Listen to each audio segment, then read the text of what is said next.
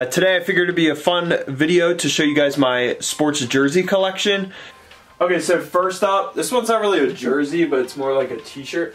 Thurman Munson, uh, Yankees classic catcher back in like the 70s. They call them jerseys. I actually haven't even taken the tag off. I'm going to wear these for a baseball video coming up. Big Yankee logo here and then Munson on the back. And I like this one.